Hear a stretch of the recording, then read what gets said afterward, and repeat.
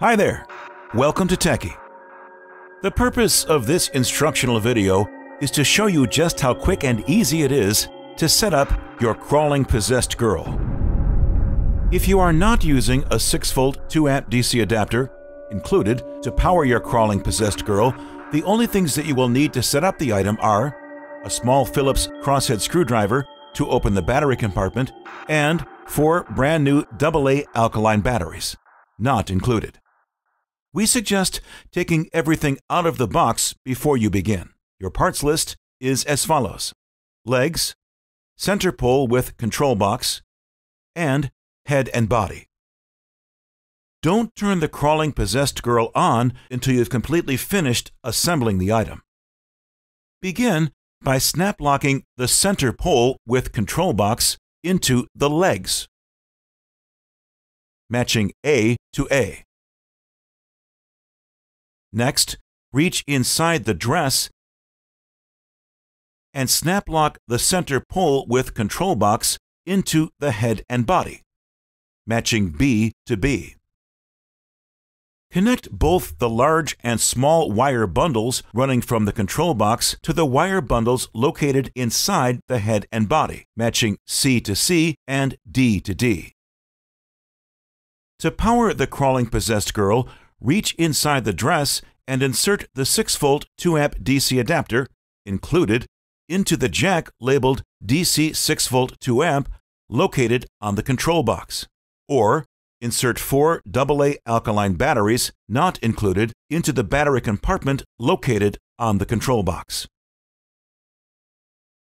Do not plug the adapter into a power outlet until your setup is complete. Place the power switch to the on position to operate the item in sound and motion activation mode. Move in front of the item or make a loud sound or clap to activate the scary sequence.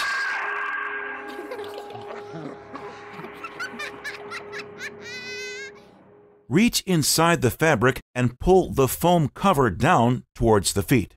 Attach the hook and loop fasteners on the foam pad to the fasteners located on the leg padding. Pull the dress down over the foam cover and center pull with control box. Position the item with arms and foam wrist pads located beneath the hands on a flat surface for optimal performance. Your setup is now complete.